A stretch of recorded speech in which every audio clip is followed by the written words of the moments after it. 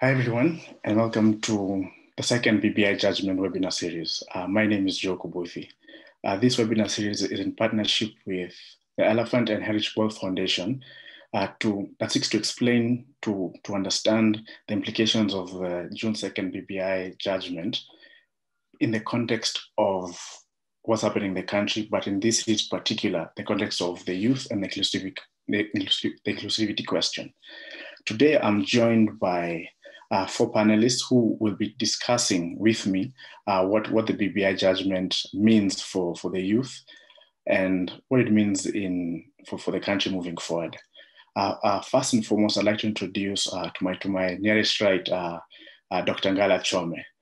Dr. Ngala Chome is a, is a historian, a writer, a recent, recently finished his PhD understanding the understanding the history of, of the coast. Uh, he's been he's been involved mainly in research around terrorism, uh, violent extremism uh, in the coast and other and marginalized areas around the coast. Uh, Karibu Chome. Thank you. Secondly, I'd like to introduce uh, uh, Lorraine Wesonga. Uh, Lorraine Wesonga is a chevening scholar. She's a researcher, an academic, a writer who whose main research interests are involved mainly around uh, uh, governance uh, within the context of the post-colonial state. Uh, thirdly, uh, is Darius Okola. Darius Okola is an economist, a writer, a researcher, currently the audiovisual curator at The Elephant. And last and lastly, but not least, is Shiko Kihika. Ms. Shiko Kihika is the executive director of Tribeless Youth, an organization that tries to foster a new kind of politics uh, within, within, within the youth bracket of Kenya. She's, a, she's an activist, a social commentator, um, among many other things. Uh, karibuni nyote uh, to, this, to this webinar. Asante. Thank you. Asante. I think we, I just want to just start with, uh, with Shiko. Uh, uh, just if, if you may, I mean, on June 2nd, uh, uh, we had the High Court, the High Court, the High Court ruling uh, you know, uh, later on a ruling, uh, the BBI judgment, uh, calling it null, void, and unconstitutional. Uh, for, for someone who works particularly with uh, the urban youth, uh, urban and marginalized areas, the urban poor, what, what are some of your immediate reflections and, and what this means for them? for me, I think this meant there's hope. It meant that not every single arm of the government has been gagged by the government itself. So just seeing that come out, it meant that for a common uh, person, there is hope. What we saw over and over again were threats, um, threats from the government, threats from um, those people who were in dire need for this document to actually go through for whatever reasons. Um, but then coming coming out and seeing how these judges expounded and confidently put out um, these issues and seeing how much they fought and defended the current constitution that we have, for me, this meant that all is not lost, that we might be going through a lot right now, but there is actually hope to redeem ourselves. Over to you, Darius. What, what are some of the just, what are some of the immediate uh, reflections that you have around uh, the BBI uh, June 2nd judgment and what it means for, for this country? Uh, thank you. I think for me, the the major issues that they raised, which is they basically said, uh, if you're going to go through with um, a referendum that will change the constitution, you basically have to do issues of, you know, civic education. You have to put in um, public education, you know, public participation. You have to put in a constitutional, uh, you know, assembly, and then a referendum. The fact that they were affirming there, there there's a process, there's a way to go about this um, journey and most importantly, is the fact that within the each of these spaces, whether it's the civic education, whether it's the public participation, whether it's the constitutional assembly, and finally even the referendum itself, there are youth, there are young people involved in all these processes in various and different capacities, and each one of them is able to, at the very least, speak into you know the, the process of trying to change the constitution. So the fact that you know, uh, Judge Matheka and Odunga and, uh, you know, Joel Ngugi and their colleagues affirmed that, you know, basically affirmed um, the, the fact that we are not a country of, you know, where you wake up in the morning and make a roadside declaration or a document that is pushed in, uh, you know, two Kenyans via president, you know, a presidential will, but that we are a country with processes, we are a country with systems, and all these systems are robust enough to be able to accommodate as much views as possible, including that of the younger people, and that you have to follow this process if at the very end you want a legitimate um, outcome. So I found that very affirming. Mm, thank you, Darius. And over to you, Ngala. But even, even as you speak about uh, the BB, BBI judgment, if you'd also locate this within Kenya's, Kenya's historical constitutional struggle and what this judgment means for that history. Yeah, I mean, the, um, the BBI judgment was very clear that um, it was paying attention to the history of constitutional um, um, uh, making and reform in Kenya. Um, two, two major historical historic things to take note of the, from the judgment, of course, is the is the is the invoking of the doctrine of uh, of, of, of, basic structure, and and and and paying attention to to, to, to the history of constitutional struggle or constitutional reform in Kenya, and it is the paying attention to that process that then leads uh, uh, uh um, to the conclusion that for, for, for, for the BBI process to be termed as a popular initiative, it needed to go through these processes that Darius has just kind of um, enumerated, you know, civic education, uh, um, uh, public participation. It's actually a process that would have taken about, about two to three years um, um if, if it really followed this process that, that, that the judgment um, um, had, had, had put forth. but then again, to link constitutional our history of constitutional making in Kenya and, and the question and, and this question of the youth, I think it is also important to, to, to recognize that Kenya gained independence um, um, with a very youthful, with a very youthful political class. Um, uh, you know, our first constitutional minister, uh, Tom Mboya, uh, was constitutional minister when he was when he was in his 30s. I think he was about 33, 34 years old and, and, and many, you know, many, many, many powerful um, um, uh, senior politicians at that time um, were, were, were, actually youth.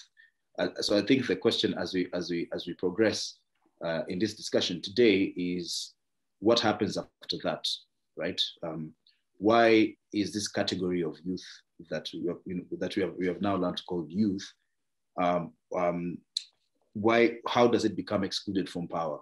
how does it come excluded from, from, from, from, from decision making over the years? And, and why also over the years is this category of youth uh, deemed as, as, as, as problematic to the, to the, to the prevailing you know, political class. And, and I think this thinking is also written within, within, within the BBI process itself and the BBI report itself.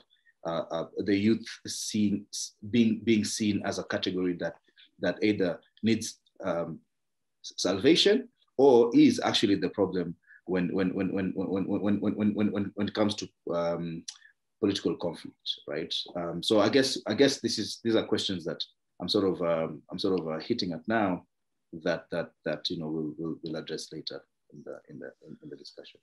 Thanks, th thanks for that, uh, Ngala. But just to pick you back on what you've said uh, around, you know, how we have framed this youth the youth in Kenya as you know there, there is two prong ideas as, as the category of people to be saved on one hand, but on the other hand as as as people who you know cause violence and etc. People who you know these rogues, you know rogues twanting around.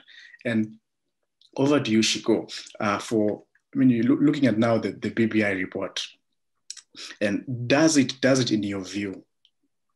Does it one how does it how, how, how does it frame the youth question? But then secondly does it does it does it uh, solve the, the the youth question in particular to inclusivity?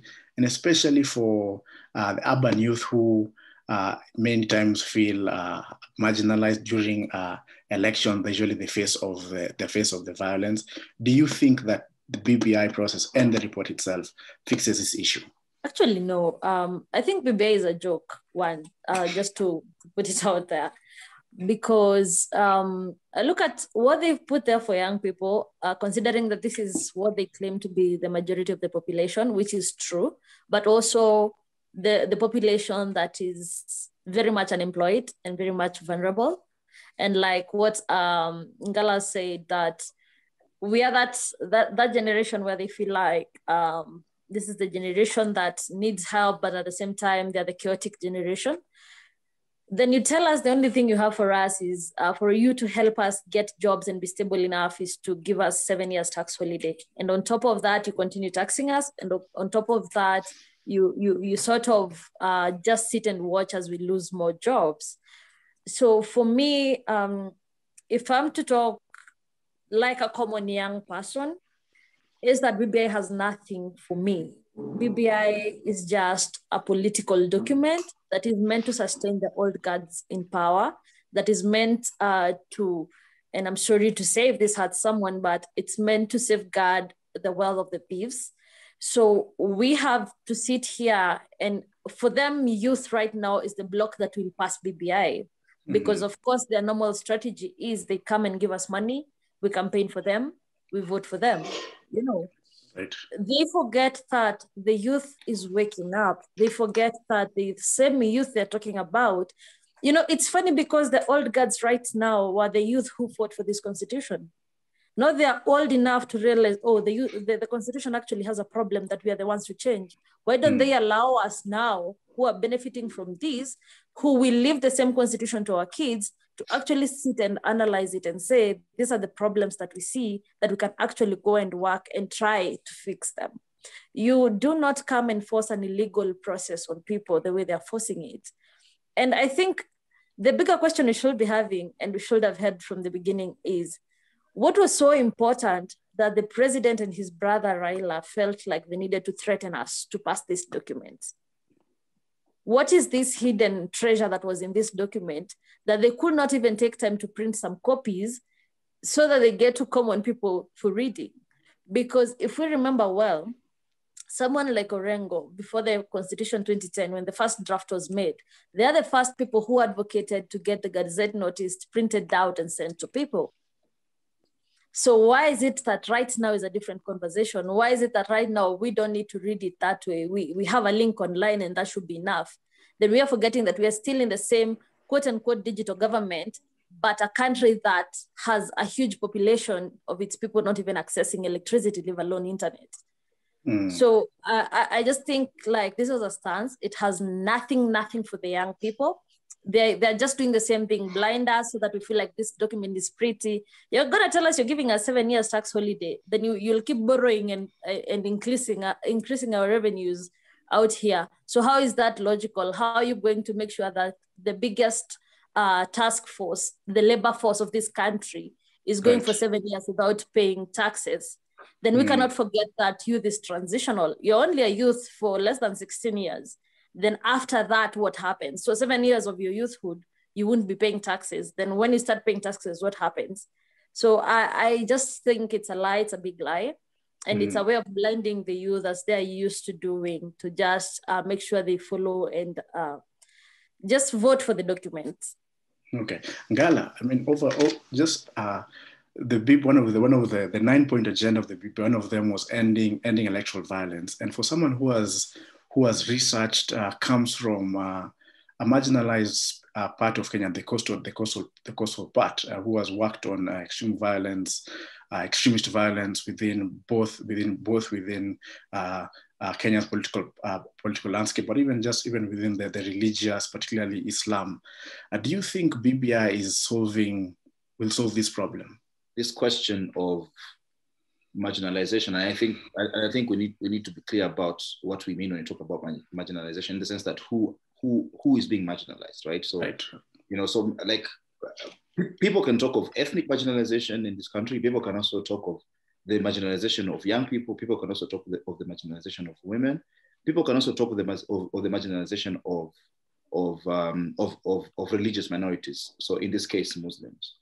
Um, so there are very different ways of like discussing and approaching the subject of marginalization. But but but there is one way in which uh, in you know in Kenyan political history we have we have come to understand the the concept of marginalization and we have come to associate it with in particular ethnic and regional ma- marginalization right so in this case um, they're talking about regions like like northeastern Kenya um, and northern Kenya much more widely the Kenyan coast, Um, and, and if you go back to the 60s, um, you know, even regions such as the, the, the, the parts, of the Rift Valley and, and Western Kenya, you know, saw themselves as, as being excluded regions coming out of that colonial experience.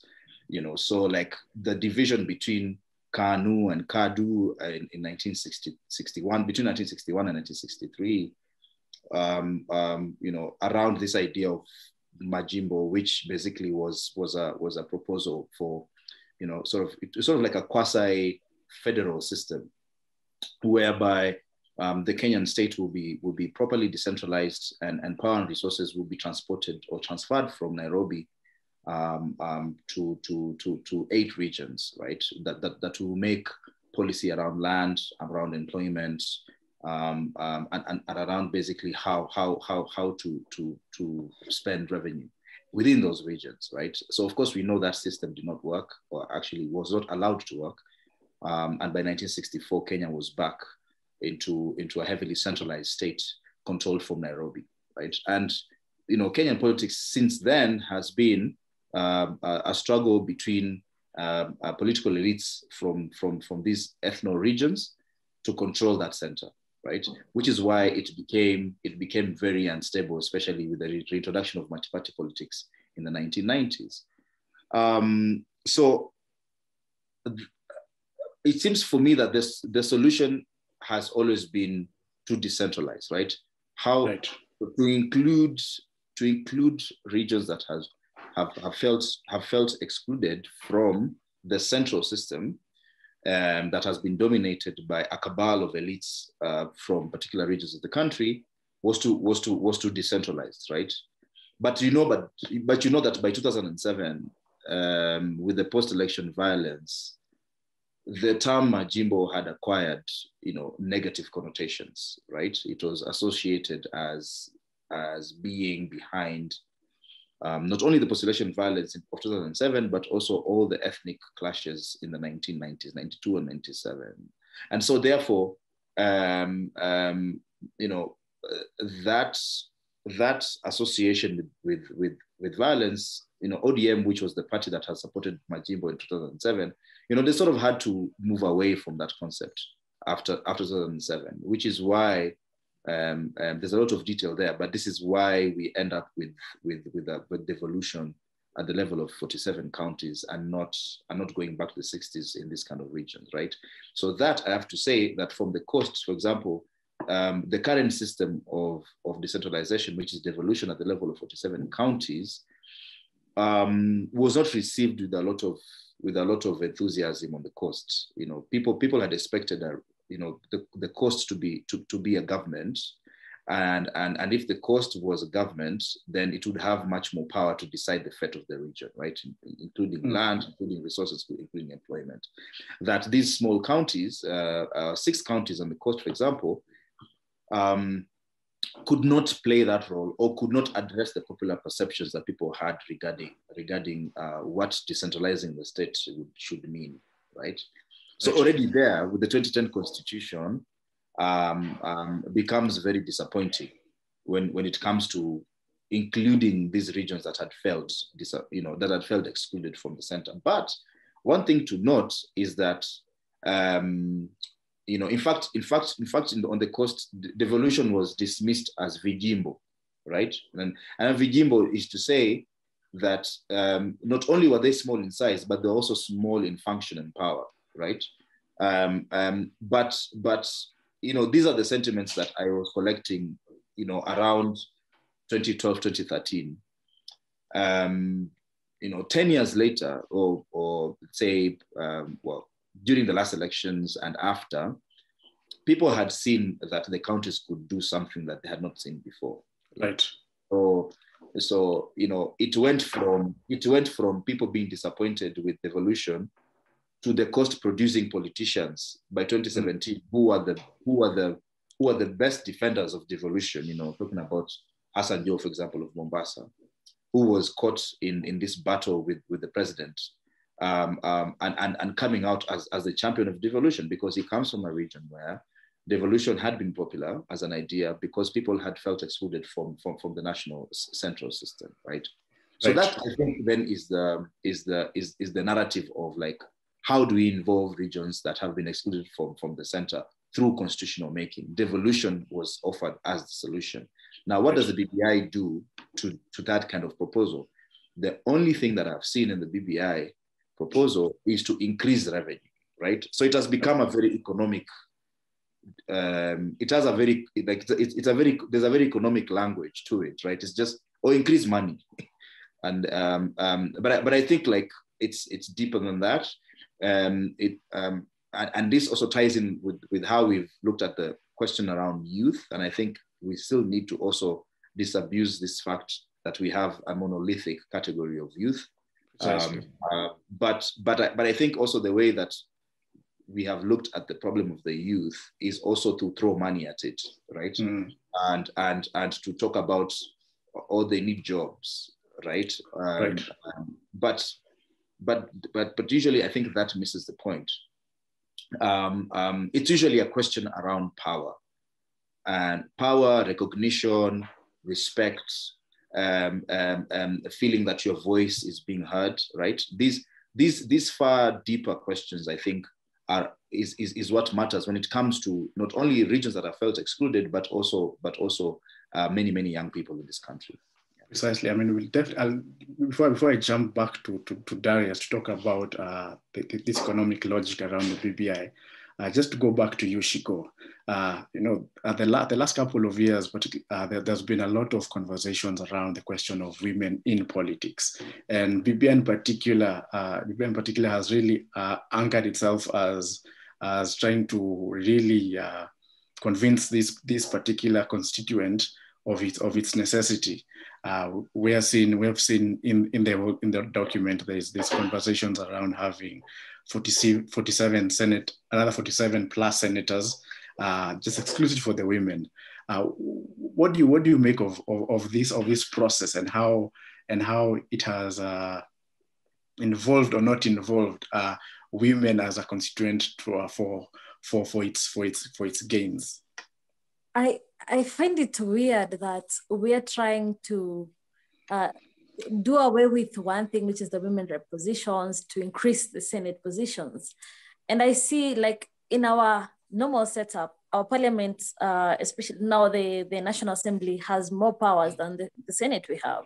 Right. So are you not telling us indirectly that we are giving you more positions, but at the same time, we are going to cripple your voices within that statement? And, and it's funny how our political parties, which are very much um, illegally constituted because our political parties don't even meet the two-third gender rule. They are going to tell us how they're going to form a government that is going to honor that. I don't think it really makes sense. And, and for me, is about looking at it beyond, we have a government that says but never does. So I'm just looking at how we have a very good president who knows how, how good to talk to people and how to tell people what they want to hear but when it comes to actually working, it's a matter of him sponsoring hashtags, but not really working. So this same guy is gonna tell us how if we offer these slots to women, then we're gonna be uh, achieving the two-third gender rule. I don't think we need all that. The two-third gender rule can easily be achieved if our political parties honored that statement, if they were legally constituted, if they included women from the beginning, you cannot have a party where the entire leadership is masculine and then come tell us how once they get into power they're going to make sure that uh, we meet the two-third gender rule. I, I, think it's a lie and i think um, the, the realization that our women and especially women in politics have been used as puppets for the longest time they're always the mouthpieces of uh, their senior bosses who are masculine so it's always weird when i find it that um, these women who are telling us how they're going to be included in this document, they were not even included in the process of understanding what could have made sense information of uh, an all-inclusive uh, parliament or government. So for me, I don't think it really makes sense. And I feel like um, this is how, the same way Ngala has put it uh, in a very diplomatic manner, I'm not that diplomatic, but the same way he's done it, uh, I'll just say in, a, in, in one word, this thing is a scam. So we beautify it with words, we do all these things, but it's not meant to actually do what it needs to do. Mm. Thanks, thanks for that. Uh, Darius, over to you. I mean, there's, there's this part, part of the whole process of BBI was a conversation around baking a, baking a bigger cake. And part of that conversation was, as Ngala's mentioned, uh, increasing revenues to the, to the counties, uh, right? And from 15% to 35%. And with that came the conversations around uh, youth commission, uh, you know, seven-year tax relief. But, but as, a, as, an, as an economist, if, if, you, if you kindly contextualize uh, what BBI one, it means its implementation means for the cost of the economy, but even two, just where do we find ourselves today uh, that BBI is a solution or not a solution for this country economically? I mean, that's an interesting one, Joe, because um, given where we are as a country, this is a country with a population of about what, about 54 million, give or take. Um, I mean, that adult population is about 28.5 million of that. Um, when you think about the fact that the average Kenyan is actually 19.7 years, you know, this is a pretty young populations, a very young um, population. And part of the reason we ended up with the 2010 constitution, as uh, uh Ngala and uh, Shiko have affirmed, is because there's too much pressure at the center. You know, you have centralized so much of your national reality that it becomes a matter of life and death for you know pretty much every cluster out there and particularly tribes so everyone wants to have their person as the president because you know that if you do not clinch the presidency you are out in the cold as a community as a region as a cluster and so having devolution there for all its uh, you know shortcomings uh, was in one way to begin to release this pressure from the center to begin to push resources outwards, to push representation outwards, to begin to create development in spaces that had not been considered for that before.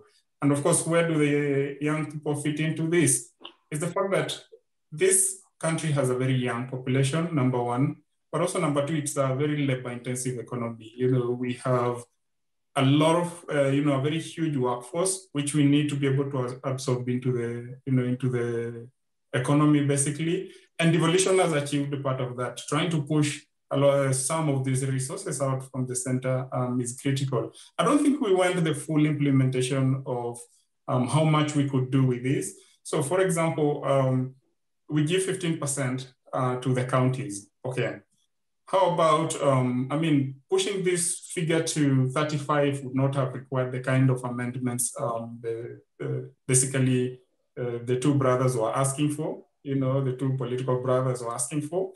And in a sense, um, that being just one of them, the fact that this is sort of a disguise trying to, you know, use it to sweeten a document that, in essence, all its other classes do not represent uh, what would have fared well for the youth, especially in terms of employment. But also, I mean, as I said, the devolution conversation needed to go beyond um, just having the county units and the monies that we send into those county units how about we also devote parastatals? I mean, what is an irrigation board doing in Uphill? I mean, seriously, you know, and we could mention many other, um, you know, uh, parastatals, government agencies, secretariats that really do not need to exist here within the center. But also more importantly, the money that came in last year uh, in March, uh, by estimates, um, I think uh, the president got about 340 something billion shillings. So part of the COVID um, recovery packages, some of the loans that were taken, grants here and there. And that's just the figures, you know, some new figures are coming out. I mean, there's a whole bunch of uh, finances, uh, you know, that need to be accounted for in terms of, you know, the kind of deals you're getting into to get these monies. But also last year, uh, by getting that money, by the time that some of that money begins to come in, the government owed um, small suppliers, I think around 136 billion, you know, uh, give or take.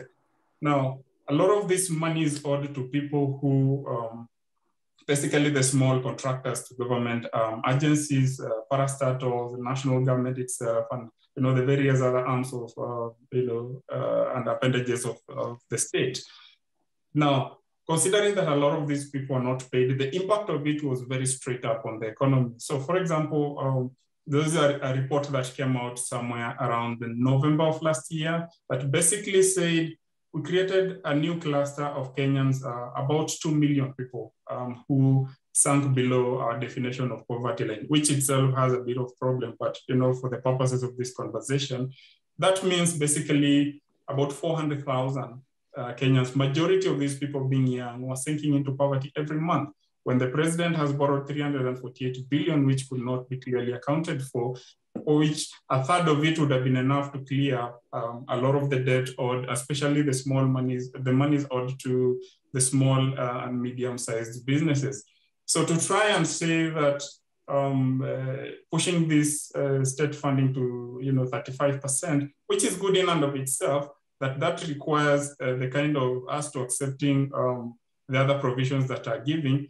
Um, first of all, that's not, it's a bad deal, all around bad deal. But also there are many other mechanisms and opportunities, or opportunities he's had to push money out of the center and into the hands of young people that he's not taken advantage of, not just in the last like a year or two, uh, but almost pretty much throughout the last seven years. So as I was mentioning on that report, we had, I mean, that's 2 million people. They're actually a new cluster in Kenya now known as, you know, an, a, young cluster now known as the newly poor. And most of it was better educated, um, you know, uh, mostly younger people and its families, you know, households basically.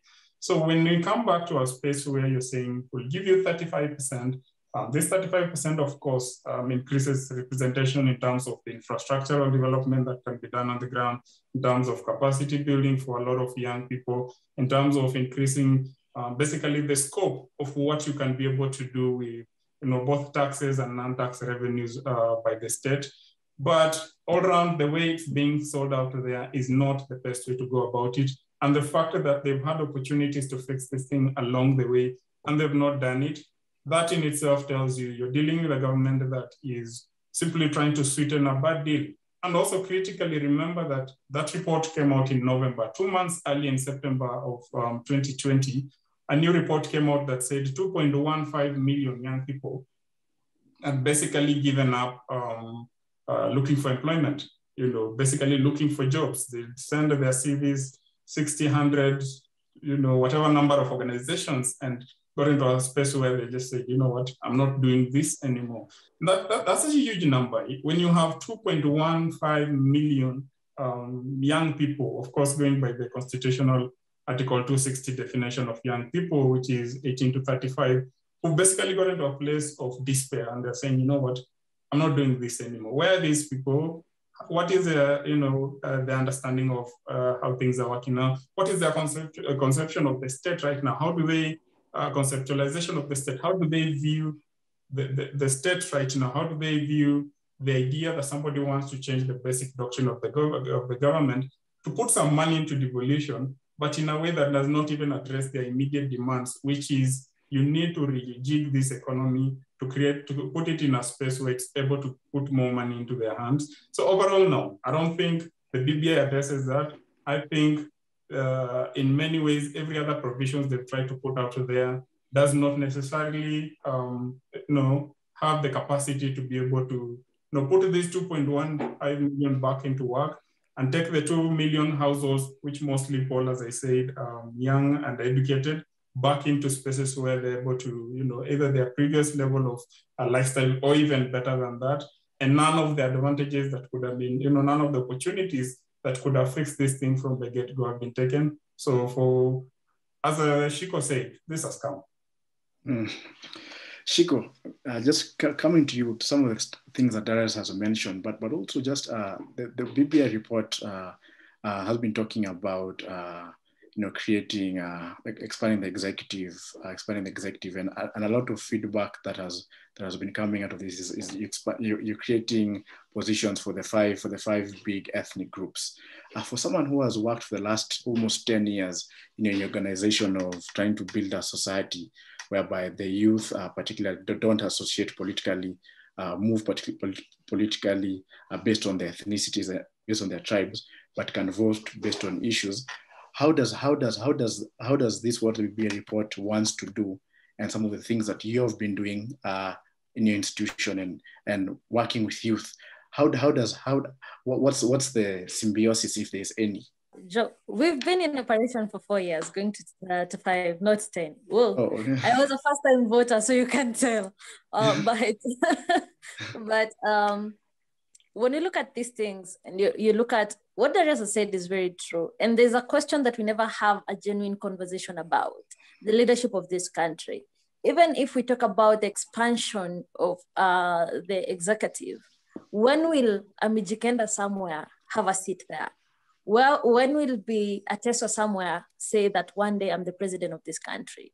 So we still have not addressed the issue of inclusivity. Uh, like Ngala said, there is a way that we know how to uh, sugarcoat these things and make them look beautiful, but then we're only creating, and I'll be as raw as it is, um, we are creating positions for Kikuyus, Luo, uh, Kalenjins, Luhyas, and Kambas.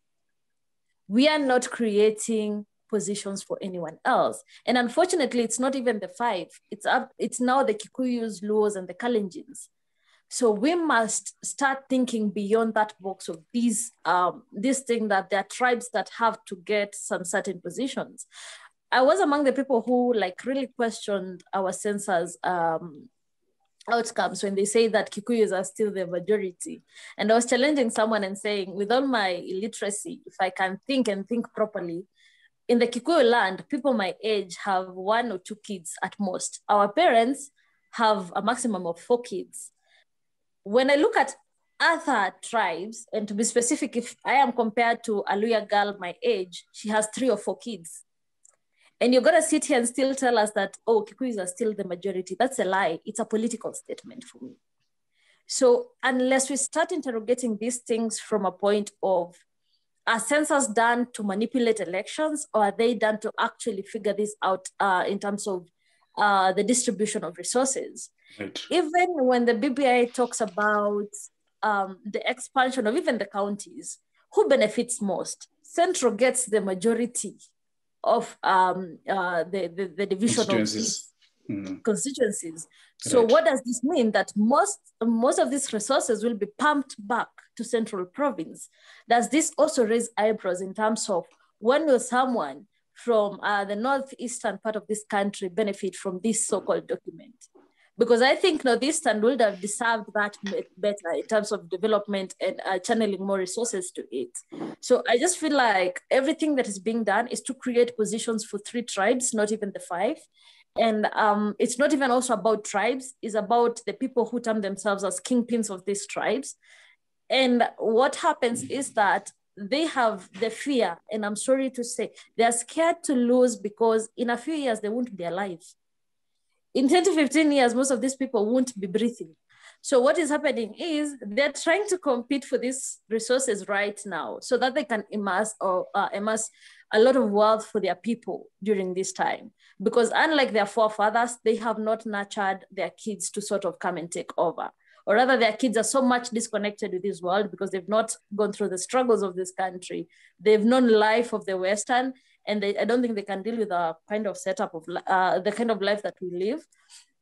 So it becomes very hard for them to say that we're going to hand over to our kids. So what do they do? They want to take up these spaces, make the best of it in the next 10 years, 15 years. And then by the time they're done with us, we can't breathe, we can't do anything else.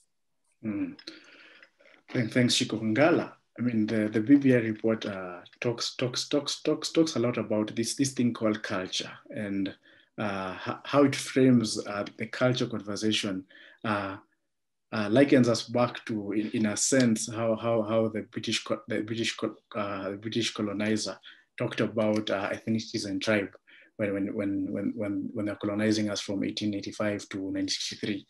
what, what, do you, what do you make of of the language that's that's used uh, in the BBI report that that's very very similar, particularly as related to culture, uh, when talks about tribes, ethnicities, and African traditional customs, etc.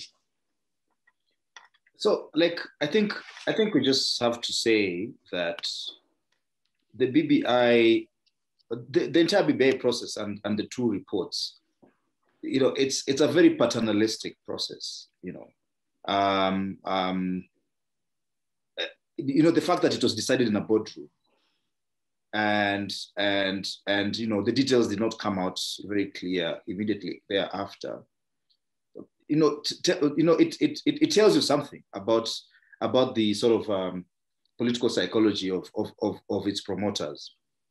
Um, which is why, you know, it, it, is, it has now gotten into problems, but, but also, but also, you know, the language around, around their, their understanding of what Kenyan culture is or should be, you know, um, um, it's, it's, it, it's, it's, it's, it's actually like very misplaced. You know, like if you read the first BBI report, you'll think that it's it's declaring a war um, um, on Kenyan citizens for you know for for not being patriotic enough, for for for demanding rights but not really um, um, thinking about responsibilities. All this language is colonial language, and and and and it is not surprising because you know the current political elite, which as as Shiko you know elaborately explains, um, is on its way out and it's really struggling to stay on course. And it's using it's using mechanisms such as the BBI to, to do so. But I but I don't think there's there's there's, there's a lot of options actually. Um, um, um, but but but there's something I just wanted to say that that you know this kind of I mean of course the BBI was not created to to to um, to support the youth. You know, it, it's it's it's not. it's very obvious that I didn't feel I didn't even feel to mention it. Um, um, but but but it's important to understand why. Um, so for me, look, looking at Uhuru Kenyatta himself, I think Uhuru Kenyatta came to power um, as, as, as they said, you know, Kibaki came to power on a wheelchair. Um, Uhuru came to power with a serious legitimacy question in 2013. Um, um, he, he was actually he was actually going through a case at the International Criminal Court when he was president. Like this is something we shouldn't forget. Like this is a very serious, um, like these these are very serious crimes he had he had he had been charged.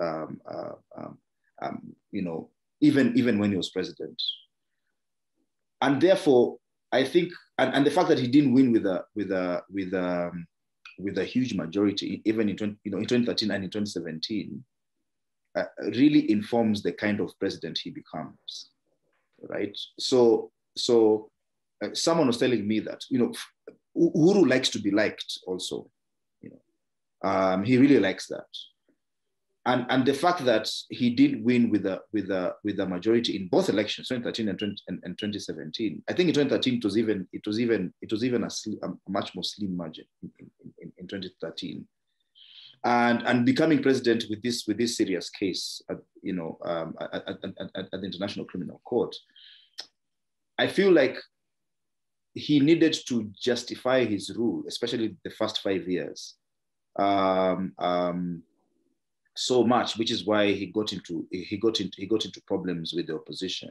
and and became and became a very in the process he became a very arrogant president um, at the first five years. Now, with 2017 and what happens there after the elections, uh, for me, I've always felt that he feared that on his on his on his last term in office, um, that he would have been he would be Kenya's president for 10 years, who was rejected by almost half of the country.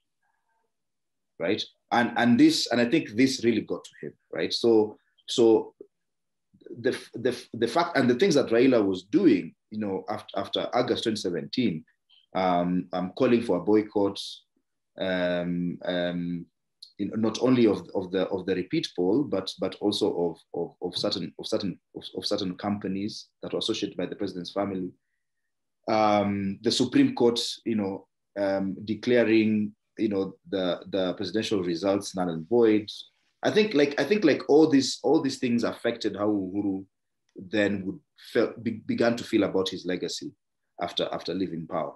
Now the thing about it is we should not think of our political elite as a very smart, um, you know, um, um, network engaged in a conspiratorial sort of uh, sort of um, um, secret uh, to, to, to, to, to maintain their hold on power um, um, because I don't know why people did not think of civic education. You know, people did not think of. No one thought of that, right? So, like, I feel I feel like at the beginning, um, be, because the Kenyan political elite is so used to working with old means, they actually do not know that you know the situation has changed. It's like they didn't pay attention to the fact that the judiciary has been transformed. It's like they didn't know that. It's like they didn't know that people could go to court and challenge that process. Um, um, and, and we're operating in the same way that you know politicians would operate in the 60s and 70s. You know, this is what Kibaki was doing in, in 2007 with, with that blatant um, um, um, stealing, stealing of the elections. You think that you still operate in the same political environment that, that, that Kenyatta operated in the 1960s, 1970s. That things have changed. So the, the political elite is always doing this. A certain section of the political elite is always out of touch with, with, with, with how the country has progressed politically. Um, um, so the BBI for me was not surprising, but also the court case challenging the BBI was also not surprising because because you are facing a political elite that um, his its its its political tools are, are very old um, and, and cannot deal with the current situation, the current political situation or climate we, we have in the country. So, so the language around culture, around expecting people to be um, responsible and not demand rights, that, that, that, that is a very old school language. And, I, and, and it, was, it, did, it didn't surprise me that this is still the thinking behind, behind, behind um, what, what Uhuru Kenyatta or Raila Odinga thinks is the problem with this country. It, did, it didn't surprise me. You know, their, their thinking is very old school, but, but the country has changed. Mm. Darius, I mean, Ngala, Ngala in many ways is saying that the old political guard, you know, the, the 60s elite, as you mentioned, is, is on its way out.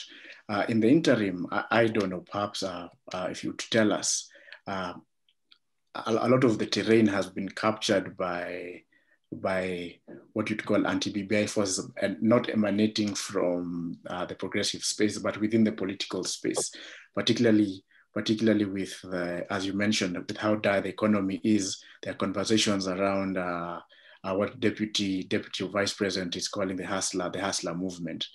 Uh, what do you make of this movement within within the, the current political climate of BBI and a formation of a, of, a, of a new kind of political elite?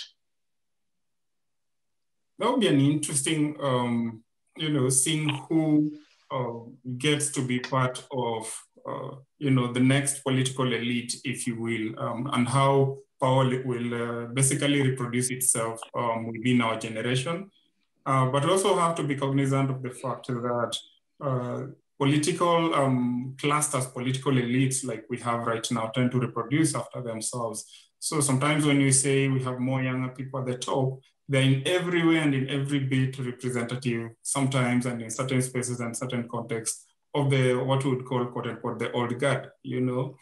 And so these transitions definitely is something to watch out for. Um, we are a very young country, as I said, I mean at 19.7 years uh, on average, which means transitions happen very fast in a lot of other spaces. I think it would be important to have that within um, our politics. Not that we've fared badly before. Um, we have one governor who uh, got into office while he was still um, a youth. The numbers, I think, is almost around 60 for uh, within uh, the parliament uh, parliamentary space. That's about 130 something uh, within the, the MCA level.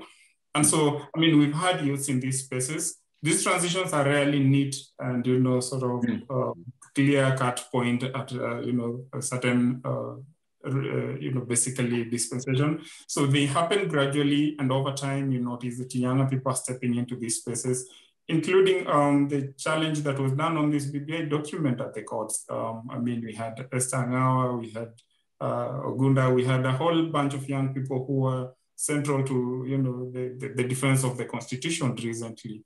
So these transitions will happen. Um, these transitions are, are not automatic. Um, a different kind of young people need to step into that space. You cannot simply assume that because it's younger people that they represent um, a different mindset, a different frame, a different way of looking at this thing, because the current political space have the resources, um, to reproduce themselves in, in basically in uh, younger people age mates and sort of to keep perpetuating some of the you know, vices or political vices that we see right now. So it is important that we are able to deliberately stay in that space, deliberately ask not just the youth question, but who really are these young people who want to be in this space and do they represent uh, basically different?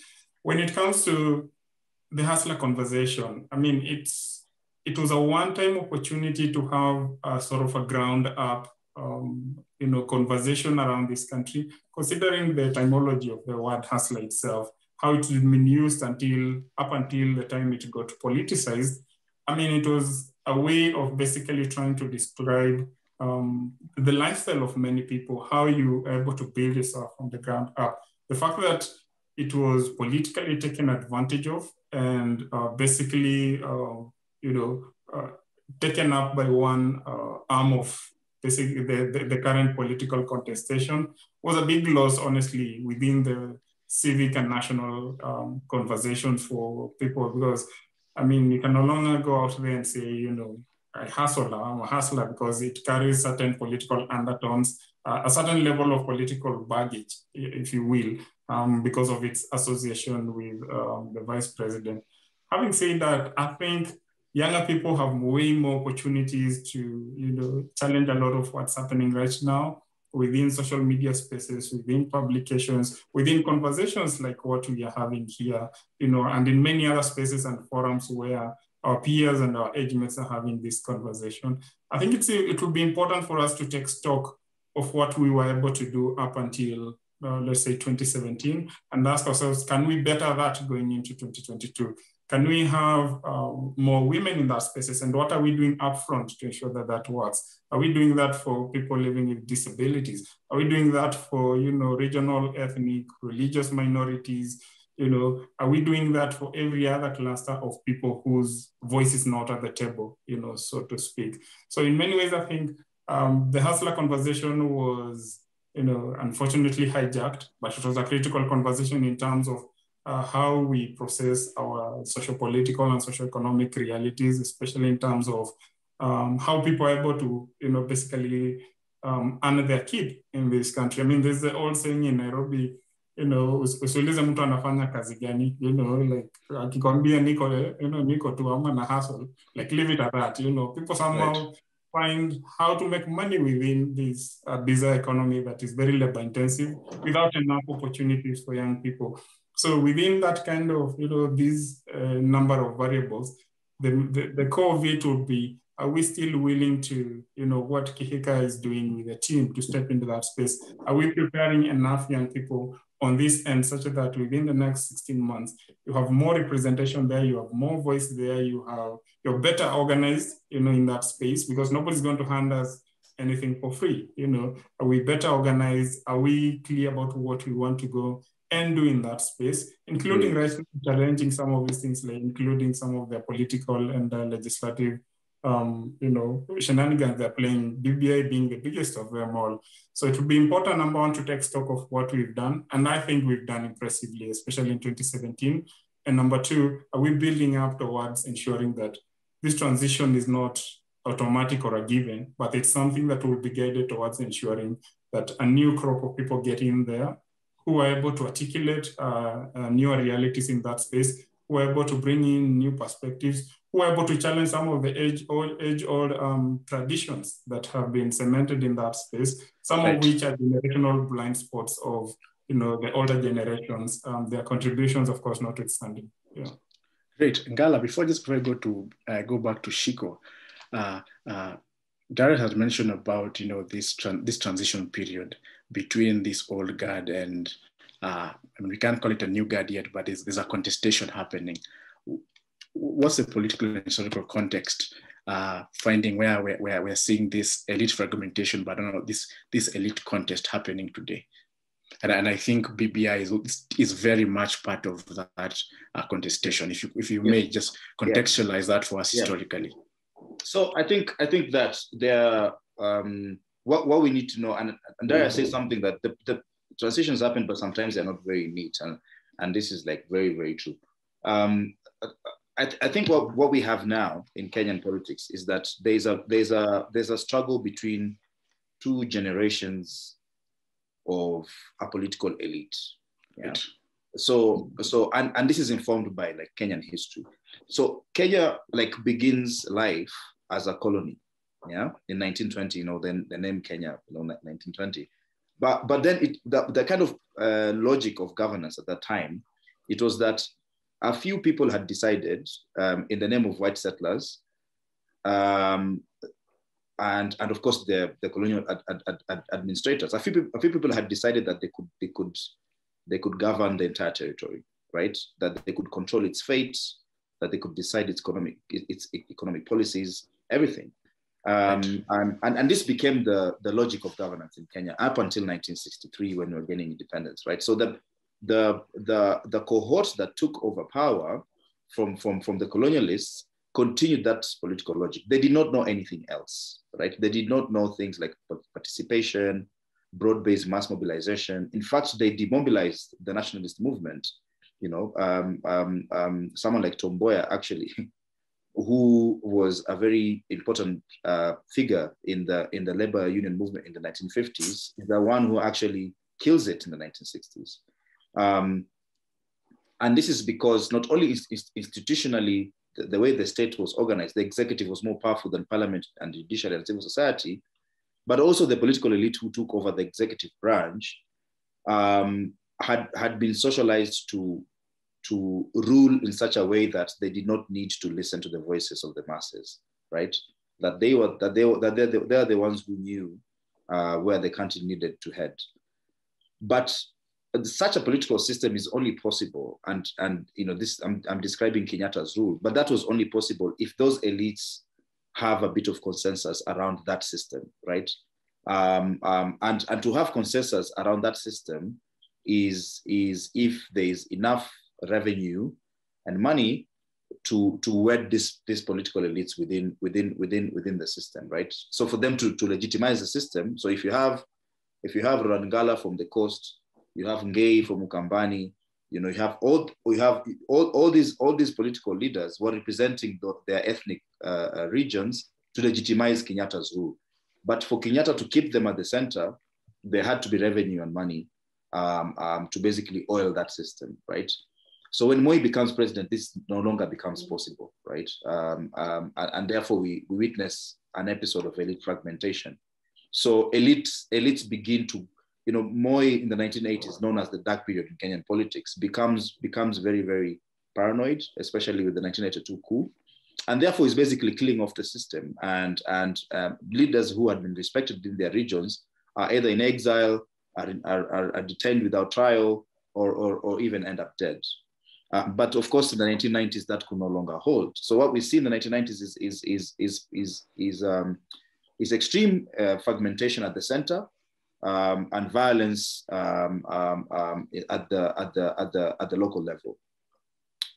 Um, but what is important, and this is the point I'm trying to make here, is that during the 1990 period of informalization, right, where we are moving from from a quietist economic system where a few elites are, are, are, are getting all the, all, the benefits of independence and others are just following, in the 1990s it's different because in the 1990s in, you know informalization enters um, um, um, um, sort of like a deregulation phase right?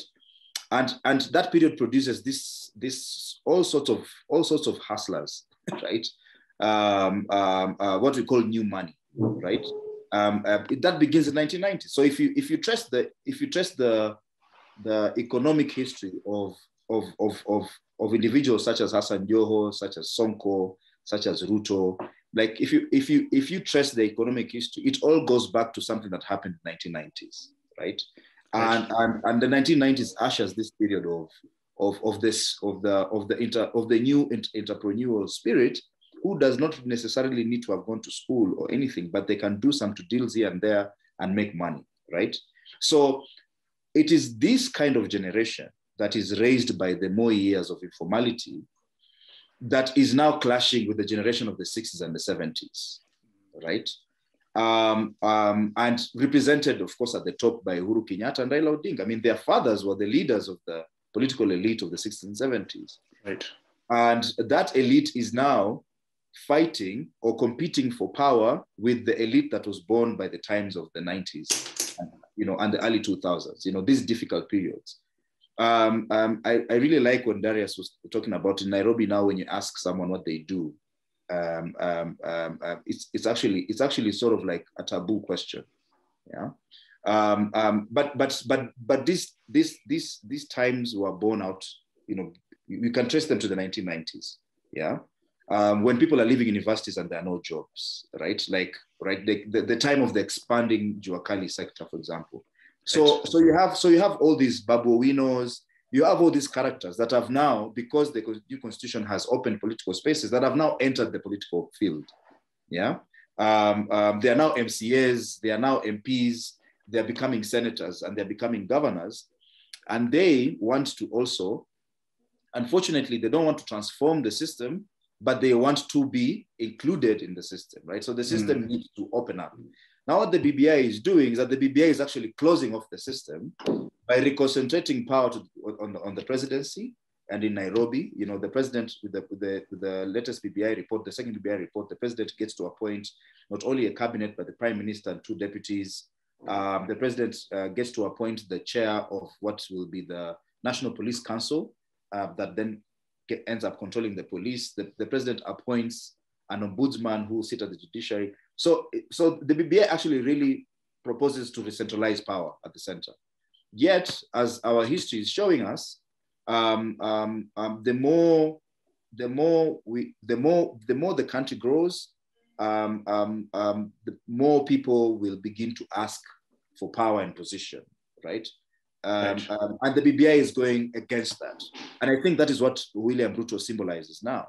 William Ruto symbolizes this when I think it, I think it was a very clever move to pick up on this name hustler because because because everyone everyone everyone now most people in Nairobi now describes themselves as they, they describe themselves as, as, as hustlers meaning fanya biashara na hustle too right and I think like it's it's it was a very clever political move to tap into that emotion um, um, um, um, an emotion of people feeling that a certain political elite needs to go away and we need to be in charge not necessarily to change our, our political traditions or, or to transform the system but to also continue what the old guard was doing, but now for more people, right? Mm, and right. and the BBI is at the center of that struggle.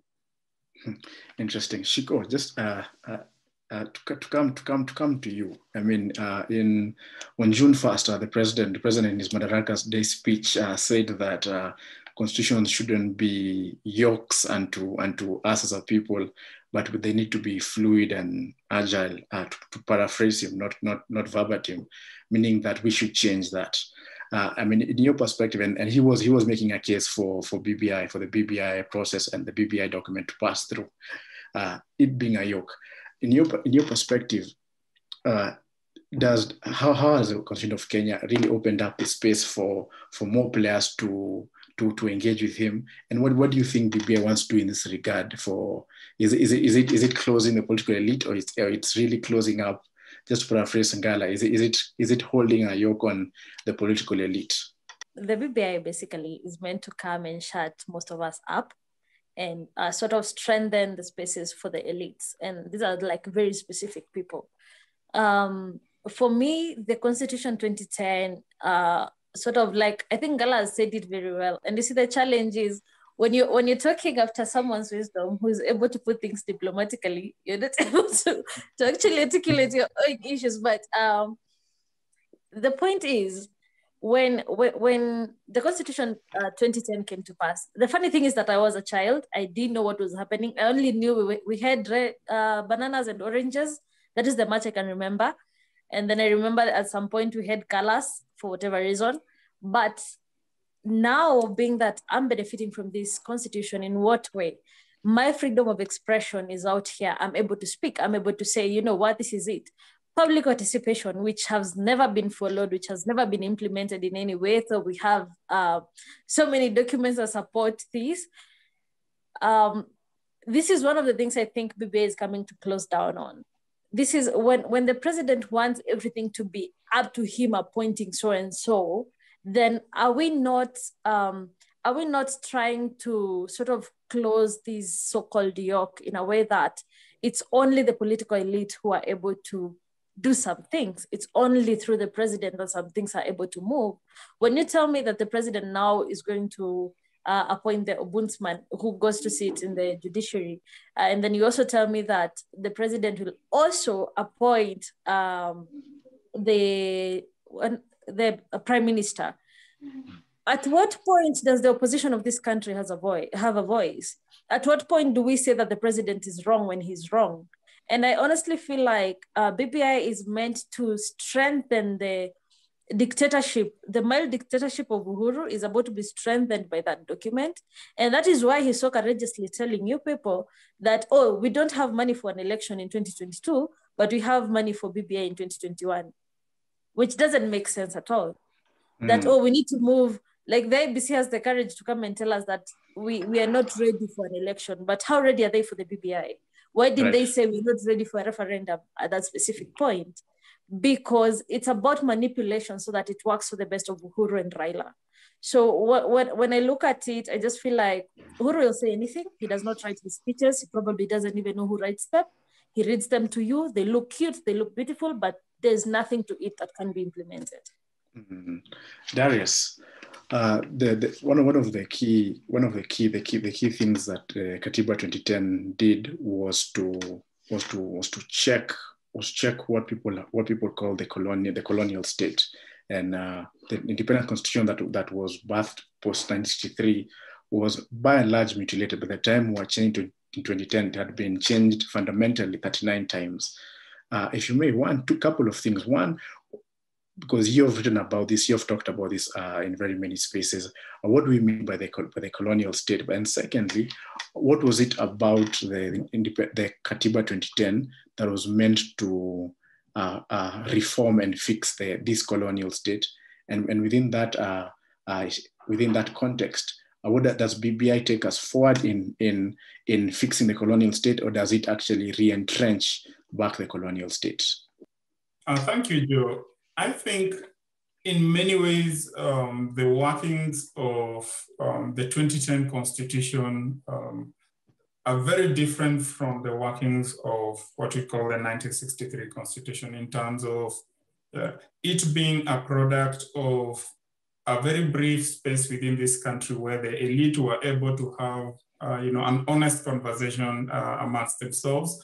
And they're able to say, you know what, this centralization of power, this uh, centralization of the Kenyan reality, this um, othering of uh, people who do not fit within certain uh, frameworks of what is considered acceptable to the, to the central state.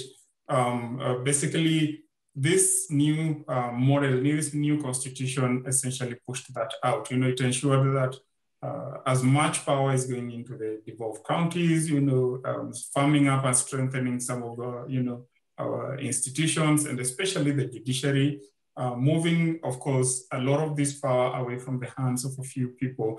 And that is a very fundamental, um, you know, aspect of um, our governance system because it creates a kind of uh, what we call checks and balances that ensures, um, as the High Court affirmed, you know, you have to do uh, public participation. And, you know, this is a trend in the constitution, especially when it comes to budgetary issues. You know, the, the, the civil um, education on people. And the Constitutional Assembly, of course, in as much as it has its flaws and, you know, it's been subject to the excesses and, you know, um, you know, basically bullying by the executive, it can still hold, it's there. I mean, we can always come back to it and reform it. And especially if we get more younger people in there who are willing to bring in uh, new ideas on how to, you know, basically do, uh, you know, the respective constitutional assemblies, of course. And in many ways, what a colonial state is, is basically this uh, logic, and I think uh, Ngala has uh, spoken into it.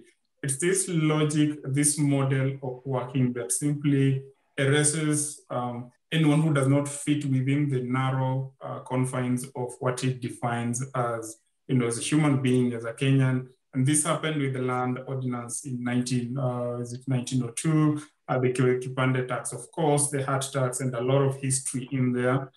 And this, the logic of this system essentially is that, you know, everyone else who does not fit the narrow confines of definition of who's truly Kenyan. And this is never really on paper, but it's built into the workings of the system. You know, you have a police system that was generally built to you know, serve the elites and not you. You have an education system that is built to entrench the tyranny of the 3%. That is why um, you look at a country like Kenya, 54 million people, 28.5 million adults, but you only have 900,000 graduates. And suddenly the Minister of Education starts clamping down on that. And, you know, because apparently we have too many graduates because 900,000 is in the, you know, in the logic of that system or exclusionary system is too many people. And especially it's beginning to uh, include people who, you know, from uh, lower clusters, socioeconomically, regionally, that the system doesn't consider acceptable.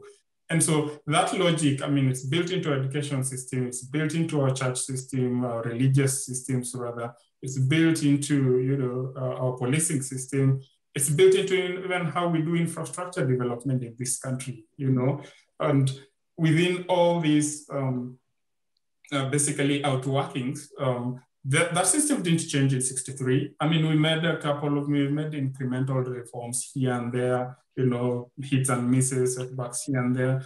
But largely the system was able to, you know, sort of sustain its logic through successive, um, you know, uh, parliament through successive uh, presidents, some of whom have given it varying levels of, you know, basically support and operationalization within the country. But now we come to 2010, this system that sort of in many ways pushes not enough, but a lot of power from the center relative to what we've done before. And of course, you can understand the recoil that you're seeing with the elites.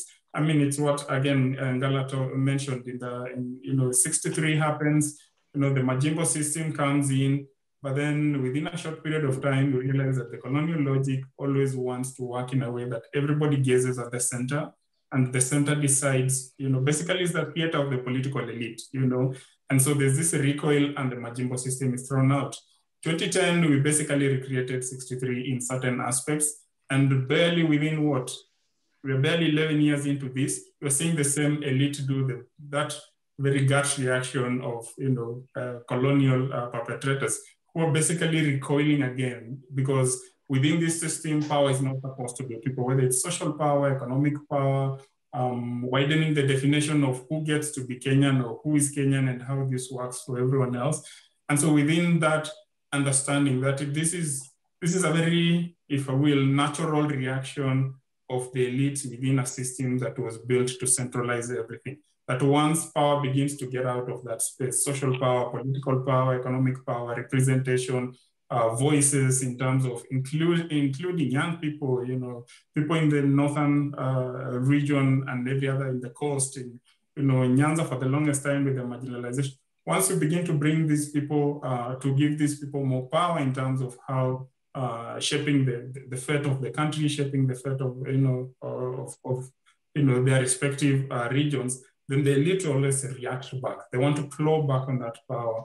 And in as much so, in as much as they're promising you 35% devolution, it wouldn't mean much if the same person gets to control all these other respective seats and appoints all these other people around him, which are really supposed to be powerful positions appointed by one person who's even now almost all powerful and is almost sort of, uh, you know, a shield around themselves to protect themselves from the kind of accountability that, you know, uh, redistributing power, distributing power does to basically that's it, and the people around him, so to speak. Mm. Um, just, right. just, just to reiterate what they say very, very briefly. So, so the 2010 Constitution was named.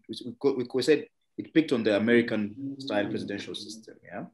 Um, uh, even the way it created the, the Senate, um, um, you know, bicameral le le le legislature, and this presidential system. But why um, you know, in a, country of over 300 million people, the United States, um, why have they not felt, why have the political elites there not felt that they need to increase more positions at the center? It's simply because there are so many people who are in charge of running the country, right? Through the federal system. Um, um, um and therefore, people do not feel um, that, that they will not get a job or or or or their or their or their cattle will not will not will not um, have a place to go. Basically not have a market for your products because the president is not is not from your area right? Um, so in kenya how do you create a system where um, people don't have to fight because their guy did not win the election because their life because they feel that their life will continue the same way it used to be? If if you, that, that, that, that, that, you, that your children will still go to school and that, there and that there'll be books there, that there'll still be security, that, that, that your children will still be promised of a job after, after, after, after finishing university. Um, if people feel that these things are not threatened, you know, these, these basic life things are not threatened, um, um, I don't feel that they will need to fight for, for a person um, uh, who's from their region to be president. And the only reason why people feel that they need to do that is because this, the system is so much centralized. And even when you had devolution, that was not even powerful enough, was not really what people wanted.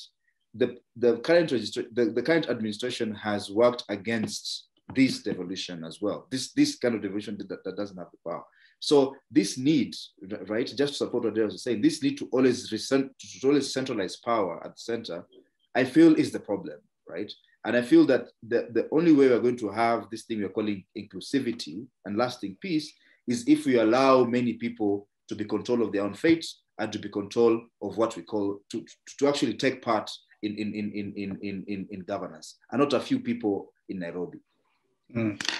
Just, I mean, just to, just before, before I go back to Shiko, uh, Ngala, I mean, in the, in the last couple of years, I mean, uh, from 20, 2013 to 2017, we saw, saw a fairly, fairly active, fairly active judiciary, you know, uh, pushing back very many of uh, Uh, presidential uh, executive orders and uh, uh, saying that many of them were illegal.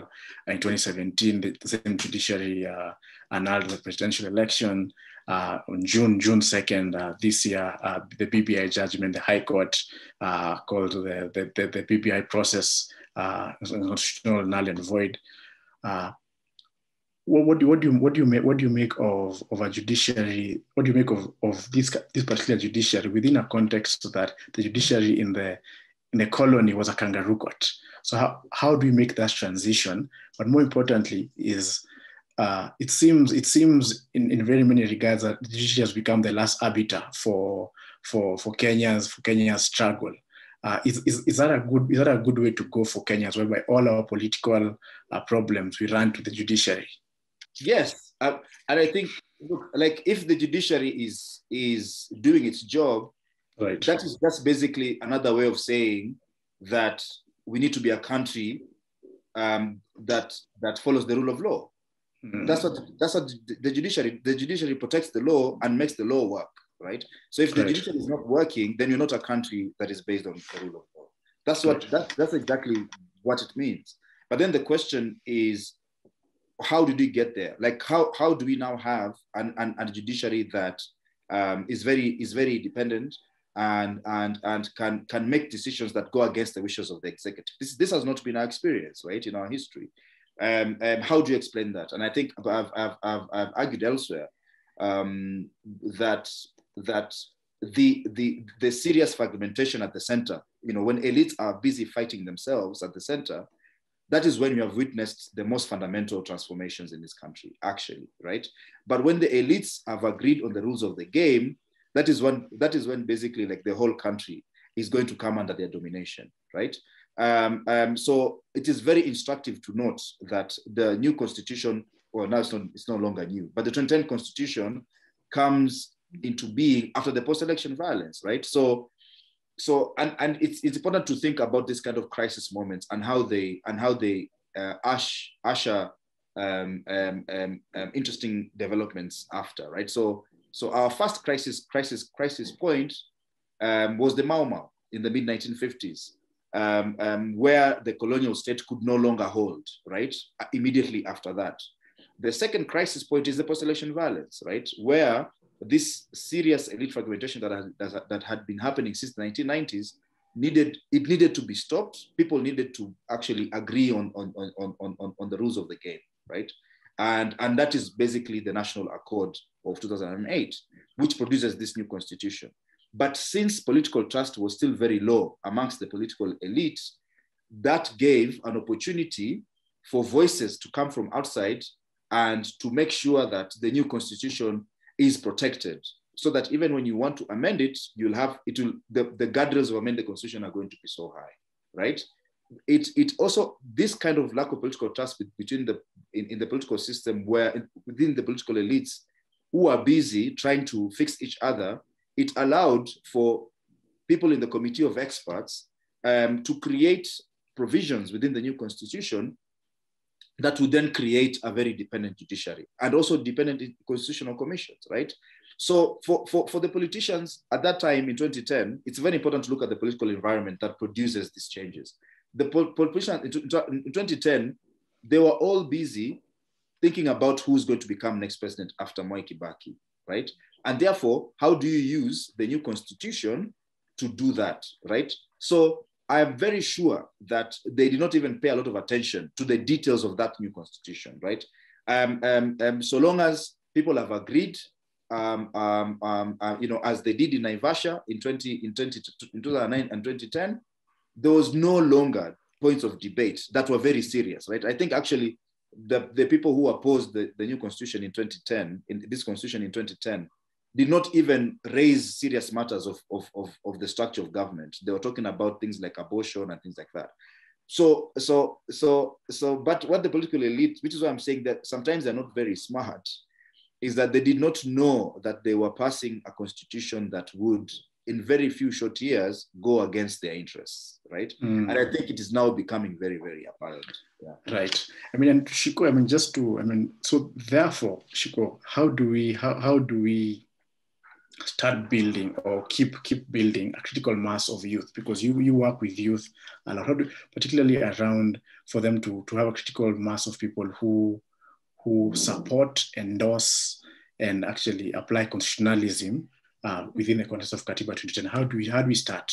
Because in, in a sense that there, there, there have been very many uh, false starts even even with regards to progressive forces you know, uh, uh, recently we were with you recently uh, at the Sabasaba convention, and the, convention and there were very many falls around how do you how do you start to build a critical mass of people to to now begin the process of implementation, but even just but on top of that to to to to endorse and legitimize constitutionalism within within within Kenya. So I will say uh, we need to understand that the work of mobilizing and speaking on people's problem is not the work of the civil society because we've made it our business. We've made it that this is this is our work. Our work is to speak for the people. We must stop speaking for these young people. We must allow them to speak for themselves. We must start working with them instead of working for them. Because uh, one thing that i've learned over time and uh, uh, over the few years that i've been in this space is that even when we say we are organizing we want to organize the way our forefathers organized. We are forgetting that we have sort of evolved, especially with the new technology. We have evolved in terms of how people react to problems. Like it's only in Kenya where mafuta inapanda, mtu anakuambia mi sina gari, so ainiusu. Then you forget that the same time, at the same time that that fuel goes up, your unga at your kibanda will go up. So it's just that we do not have this knowledge and this is where we need to start. We honestly honestly need to be honest enough and tell ourselves about the actual history and the true history of this land.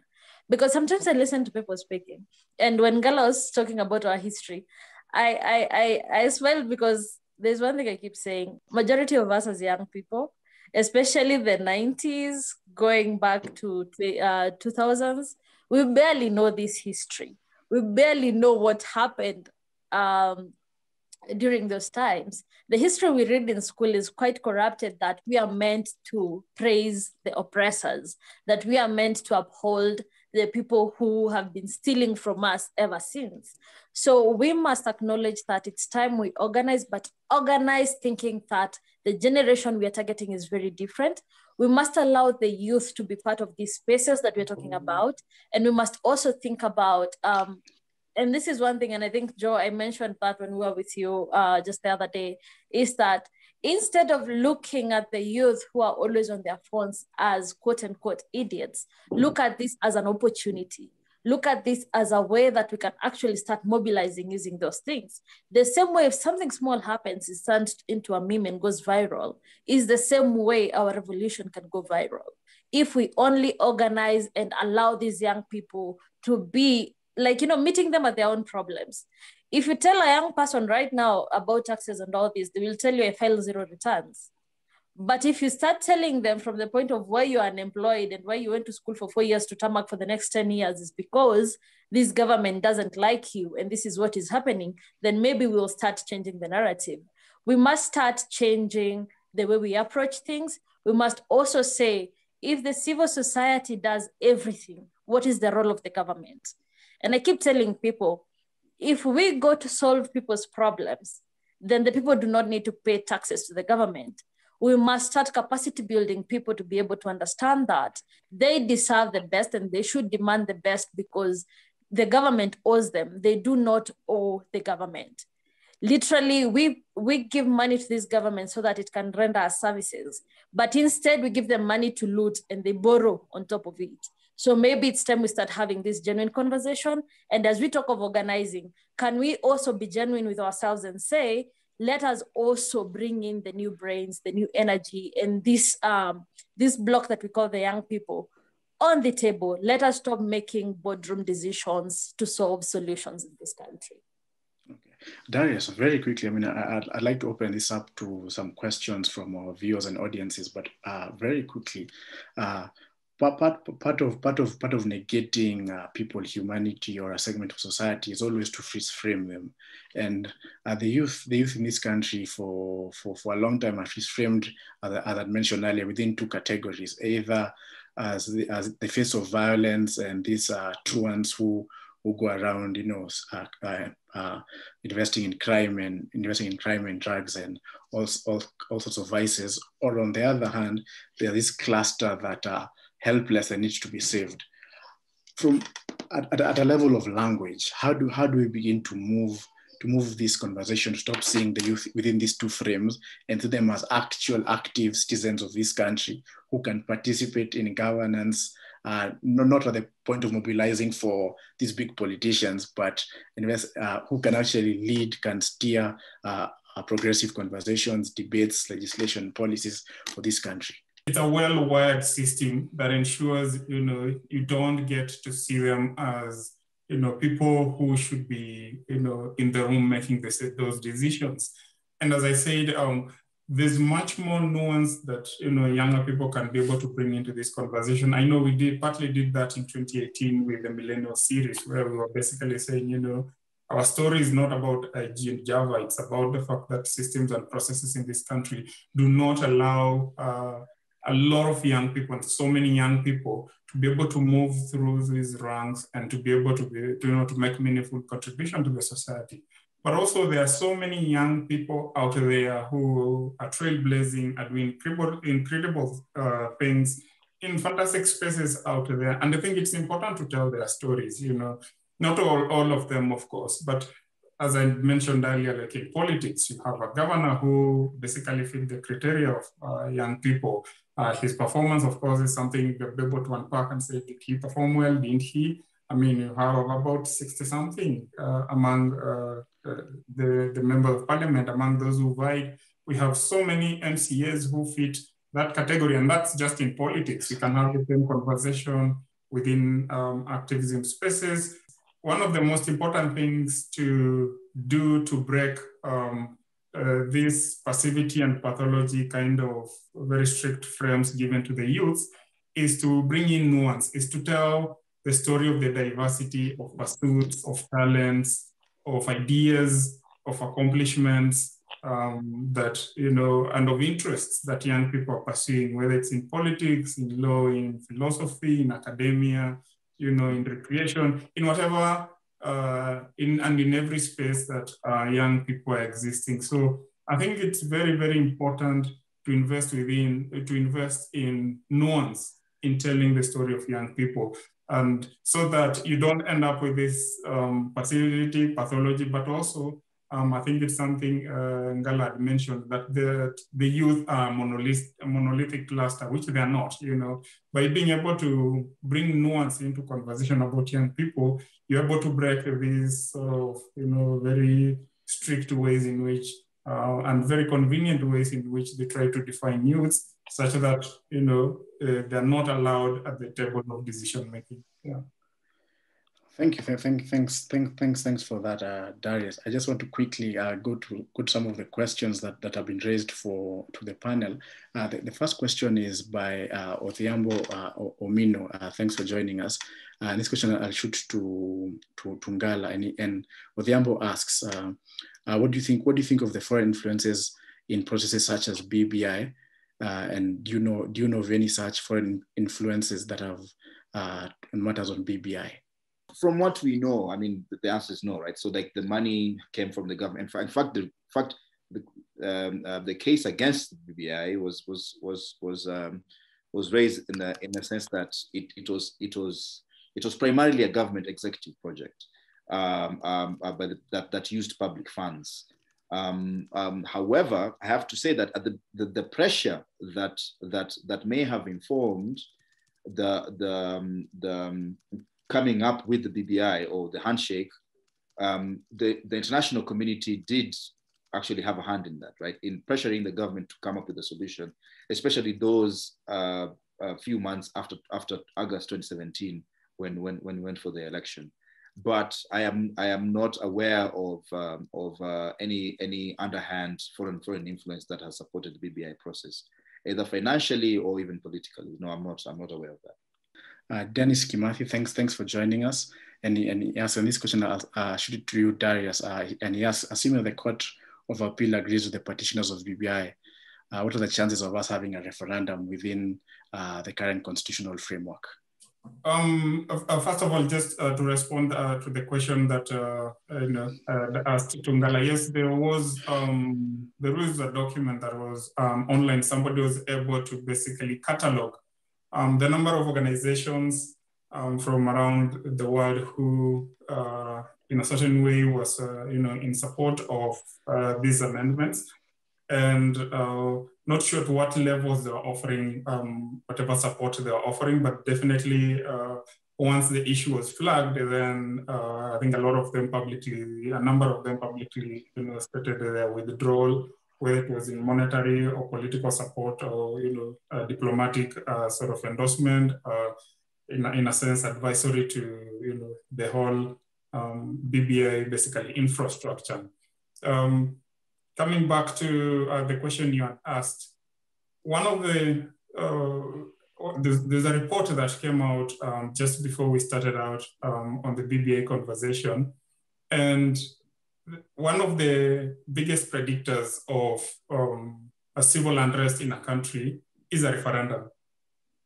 Um, it, there's an entire report and, and I think entire uh, public uh, repository of uh, this information that a lot of countries go to war within um, or uh, 24 months before or 24 months after, actually 12 months before or 12 months after a referendum. And that is because a lot of referendums are rarely informed by, uh, you know, a society's uh, self-reflection and the desire to, you know, sort of move itself forward or change certain provisions. Most often, um, referendums are an acknowledgement of, you know, basically uh, a split within the elites. You know, it's, the, it's usually the collapse of elite consensus that drives most referendums um, in a lot of countries globally, and you can pick, pick any countries with any major sort of uh, civil uh, dysfunction, uh, you know, especially that plays out even into a war or political, you know, sort of violence. And you can always trace there was a referendum somewhere within the 24 months of that, um, uh, or within 12 months of that document. So having it now and then having an elections right up ahead in which uh, the president and the vice president have fallen out coupled with, uh, you know, a referendum in itself, which is quite unpopular, and an economy that is, you know, not fully functional at this point in time, that is a recipe for trouble. You know, all, all the legal um, uh, frames around it notwithstanding, of course, um, uh, the, the, the, eventuality or the inevitability or the possibility of a referendum will be decided by, you know, of course, the courts. But it's a very, very, uh, you know, risky political game to play within a nation, that you go to a referendum within a period where you also have an election that is so hotly contested. A referendum after that may be a possibility. Of course, it will still be challenged within the current provisions that have been given. You know, as I mentioned, civic education, public participation, constitutional assembly, and the referendum itself. Yeah. Mm -hmm. Thanks, thanks, thanks, Darius. Uh, Shiko, uh, Dennis Kimathi asks you again. Uh, uh, within this context of BBI, there have been also conversations that have come uh, regarding uh, academic qualifications for members of parliament and uh, uh, members of county assemblies. Uh, Dennis Kimathi asks, what, what, do, what do you make of this? Wow. Um, I think this is quite an interesting conversation. And the only question I keep asking people when they ask me that is, if we expect a secretary in a bank or in a shop or wherever this person, a receptionist for that matter, to have a certain degree, why don't you expect someone who's going to make decisions that affect your life, hold billions that you pay in, uh, in form of taxes, and also budget for the well-being of your life and the services you get, go in there without a degree? Why is it that we have to be very double standards in a way that if I'm electing you into power, I'm doing you a favor, you don't need degrees, go buy yourself clothes. Yet I'm paying you, I'm facilitating all your well-being.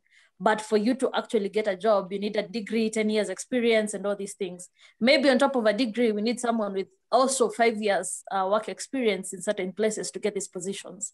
Because I feel like we've gotten so many people in power who have no idea of what is their role there, have no idea on um, even the specific seats they serve, what are the roles and what are the JDs uh, to be precise. So we end up uh, screwing ourselves over and over again because we rely on people who are not even open to learning. And I, I, I want to take us back to when the campaigns, of course, the campaigns are always here. But isn't it always worrying when an MCA comes and tells you, within the first 100 days of me being in that seat, I'll, I'll, I'll build schools, I'll build a hospital, I'll make roads. Isn't that a red flag? Isn't that one thing that we should be like, we cannot elect this person? That is not his mandate. He cannot. Where will he get the money from? So the fact that we never have these conversations, the fact that um, we have been lied to again and again, maybe having it mandatory for people to go to school, get educated, and also get some experience before vying for these seats will be like prudent for us as a country. Mm. Interesting. Uh, another question uh, from from from the panel. Uh, Purity Mukami. I can just chip in briefly on the conversation. Yes, yes, please. Yes, please. Um, on, on, on the qualifications uh, conversation, it, it's there is a certain way in which um, the public space uh, is suddenly is currently um, disadvantaged when we go with uh, with the degree. No doubt, it's it's a very important document for that. But I'm thinking if you're a country of 28.5 million um, adults, uh, you've constrained your education system such that it's only awarded it to 900,000 um, there is a 2018 report, I think June, which basically says, um, you know, uh, in Kenya right now, um, children of the top 10 percentile are 48 uh, times more likely to make it um, uh, to university. Middle class kids are three times more likely to make it to university. Understand the necessity of, you know, a university degree in, uh, in, in, in this uh, you know, dispensation and how it helps us to, you know, basically legislate and all that. But then there's this conversation to have on, you know, by having a degree, it's important in terms of how it helps, you know, with the cognitive and intellectual conversations um, for, you know, and, and then policy conversations for, you know, the legislatures and the respective political offices, but on how exclusionary also it will become um, for a lot of people, because it will basically say of your 28.4 million adults, 27 point something basically don't qualify for public conversations. How about if we took this provision a different way and said, there are a certain number of modules within Kenya School of Government, which as long as you have the bare minimum, which now is a Form 4 certificate, you have to take X number of modules. And that essentially ensures that, you know, you were able to qualify as part of, you know, basically our uh, IEBC uh, qualifications. That ensures you're not being highly exclusionary in a system that the education system has been very exclusionary, but also it ensures that the people so uh, don't get in there simply because you know uh, we don't lock people out. So can we have a third way such that you know uh, you're not locking everyone out and you're also not allowing anybody who you know, has barely, um, uh, you know, any bare minimum understanding of how government works, getting into this position. Yeah. Yes. Well, thanks, thanks, thanks, thanks, thanks, Darius, for that. Uh, uh, Shik, another question for you from uh, Purity, Purity, Purity Mukami. Uh, and, and, she asks, uh, thanks Purity for, for joining this uh, webinar. She asks, how do you distribute the power away from Nairobi more, uh, other than adding through money that goes to the counties? What, what are some of the things that we can do to distribute power and resources to the, to, away from Nairobi? Basically, what she's talking about is how do we decentralize resources away from Nairobi and the the, the, the elites want things centralized? Um, I think that's quite an important question. And I think uh, Ngala sort of expounded on this earlier on. But for me, it's about understanding that devolution was not meant for just finances. It did not just mean the 15% that goes back to the counties. This meant that even um, industrialization, when you talk about the parastatal, when you talk about these things, but funny enough, this government of ours has been able to sort of be corny enough to devolve things that they feel like, okay, this can do, but also to retain things that give them more money. Like the youth as a block, youth is never devolved. Uh, you talk about the youth enterprise is still an issue of uh, national government. Uh, but the question I keep asking is if we can devolve health, why not devolve youthhood? Why not take it back to the counties for them to run their own issues with their uh, own young people? But one thing I keep saying is that uh, we have the 30% tenders uh, to youth that is a scam. Maybe we need to take control of that. Uh, we mm. have um, the Youth Enterprise Fund, that is also another scam. We used to also take control of that if we are able to bring these resources back to the youth, and if we are able to uh, build skills and create a system that works for our young people, then that makes sort of will enable us to make the first step. My only fear is that where I come from, especially we are three hours from Nairobi, and what happens is I graduate today and I move out tomorrow to move to Nairobi to look for uh, opportunities. Maybe we need to also start pushing our county government to sort of uh, start looking for investors to come and invest uh, in our counties, maybe that will also open up um, the industrial space and give us more opportunities. But as long as we still see kazi kwa vijana kama kuchimba mitaro, kuosha choo eh, na kufagia barabara, then we will never move. Hmm. Thanks. Yeah, thanks. I just I just like to jump in there. Um, so and, like, and as, how, so, so sorry, sorry, Ngala, that's to Yes. interrupt you. As you're jumping there, there's also a question for you. You can answer both Okay. because All of right. sake Okay. of time. Sure. Uh, so there's Yeah. Martin Martin Ngoni. Uh, he asks you specifically, and he says, uh, uh, going forward, what happens to the rural succession politics?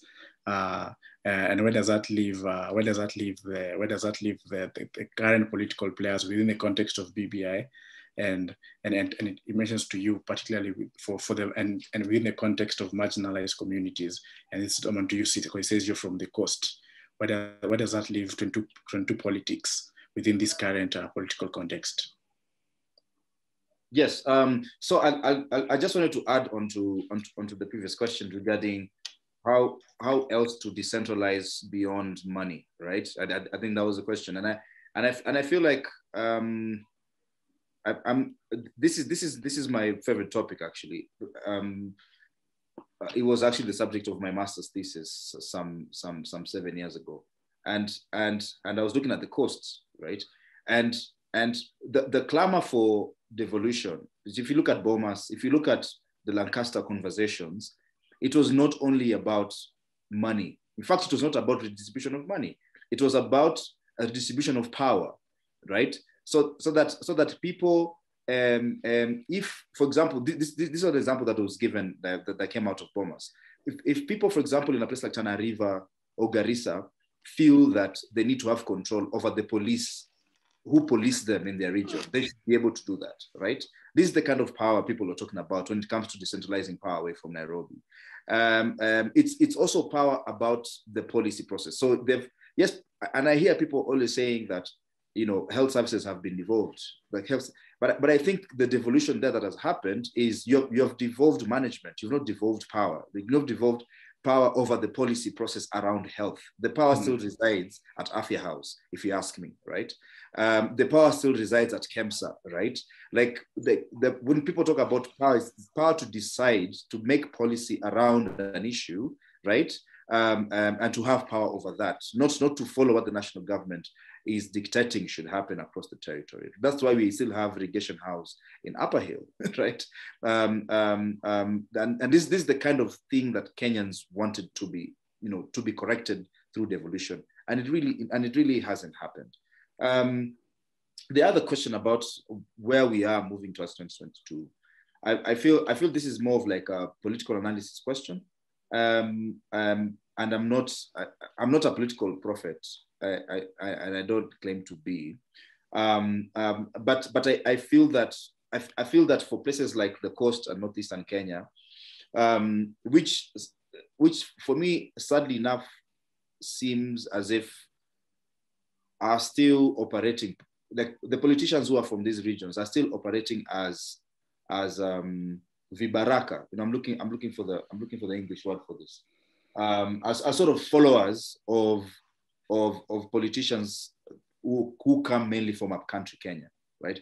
And this is also something that I've always kind of talked about in my work, that, that the politicians at the coast right now are talking about which side to pick between what is now the Tangatanga movement and, and the BBI kind of kind of Uhuru Kenyatta Raila handshake movement, right? Um, um, you do not find still a sort of um, um regional specific conversation about where the coast should go politically and economically. We still don't have that. We have frag fragments of that, uh, like like um, the um, uh, Jumuiya Jumuiya ya Kaunti za Pwani, but still the political process is the same. Uh, people looking to join political parties that have been conceived and formed by upcountry politicians, usually coming from a few ethnic groups, as Shiko was mentioning earlier. Um, and this is the same for northeastern Kenya. So, like this, you know, in within the context of BBI, despite devolution, people from from regions that were were previously marginalized or seemed to have been marginalized, um, are, you know, are still kind of clients of politicians from you know Nyanza, from Central Kenya, and following political formations, political movements from these regions, rather than really defining national politics. Um, um, that we, we are still not seeing that. So so maybe what I mean in in very real terms, maybe you're expecting that a, run, a running mate will be chosen from from some of these regions, or, or maybe um, um, some promises for cabinet positions from these regions. It is still the same game for me. I don't think like anything transformative has happened um, um so far. Thanks, thanks, thanks, thanks, Ngala.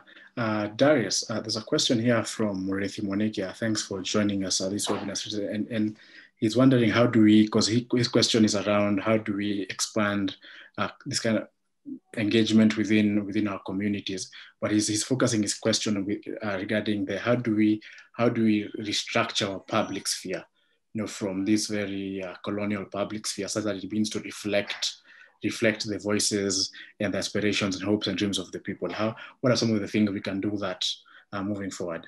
Uh, asks Murethi Mwaniki.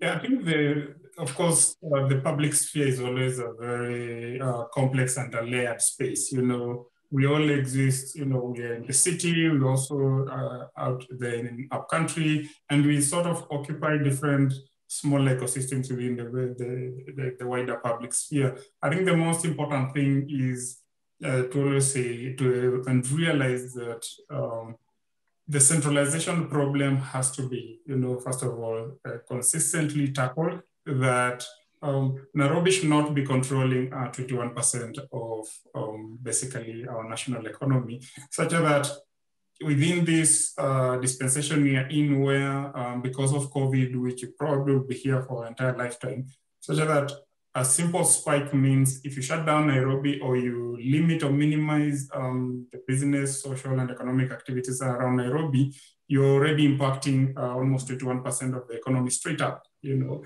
that, that, that's on a very unhealthy structure, so to speak. I think it's important that, and especially elites to realize that for the proper functioning of this society, for the proper functioning of this country, for the proper functioning of its various levels and systems, it's important that no one single um, uh, space or square kilometer has such a massive and outsized influence on your, on your national reality, such that when you have to do the inevitable kind of lockdowns and, and, and curfews and all these kinds of COVID measures, that you're making such a huge hit on, on, on the overall economy. I think this conversation came up. Um, first of all, Nairobi itself controlling 21% is a huge problem. Number two, when Eastleigh was locked down, um, there was a whole area of Mathare that was basically, uh, you know, uh, almost starving uh, because a lot of the the laborers in Eastleigh come from there. And so when you begin to look at those kind of social settlement systems, your anthropological realities, your distribution of infrastructure, your distribution of income, wealth, and opportunity in light of something like COVID, then that should be a biggest motivator to say, move this, you know, reorient your public uh, system, reorient your public square in such a way that you know, you're no longer um, captive to um, the inevitabilities because we'll do lockdowns and shutdowns and all these things for the rest of our lives, you know. So you almost have to budget for something like a nine month economy in terms of time, but also you have to budget for a kind of an economy that is so redistributed, a public sphere that is so democratized that, you know, you're, able, you're, you're only able to lock down certain small systems and if the other systems can keep functioning in such a way that the overall impact on the economy is minimized. So there's all the motivation to do it. Um, of course, there's all both uh, economically, there's all the motivation to do it uh, out of the 2007 uh, political uh, violence and the inevitable, uh, you know, uh, fears that came with the, the, the centralized system that we had then there's all the motivation to do it because technology allows you to do it. You know, people are producing blogs and, and, and you know videos and TikToks from far outside of the city. It's important that especially for um, the clusters that exist within the city to realize that the Kenyan life and the Kenyan society is not emblematic of Nairobi. You know, it, I mean, just to take one example, um, uh, just briefly, um, the the increase in uh, gas prices I mean, there's a whole breakdown, I think uh, Kwame uh, uh, Owino did, which was basically saying um, gas is a very urban phenomenon in, in, in, the country. But our conceptualization of it was this is going to impact the entire nation. Of course, there's a whole conversation about how to keep, you know, provide cheaper energy so people don't destroy forest and all that. But in a sense, we begin to see this urban-rural divide that is a very not really urban rural it's a very nairobi versus the rest of the country kind of right. a divide that right. we need to tackle um, right up front yeah mm. Right thank, thank thanks for that. Uh, the last question actually to shiko uh, from Purity mukami and i mean and she's she's she's she's she's she's asking that uh, uh, there are very many barriers to the youth engaging in political processes you know, education, and economic dynamics, as just what are some of the things we can do? Because the conversation has always been, particularly within mainstream voices, that we need to involve the youth, but a lot of it is rhetoric. But what are those barriers that she's asking that we need to do uh, as the youth, you know, as, as the youth use, use that word very carefully, well, to, for, for, for, for enable to us to break those barriers and enter into those spaces where we can able to engage in the political processes uh, to, to shift the country.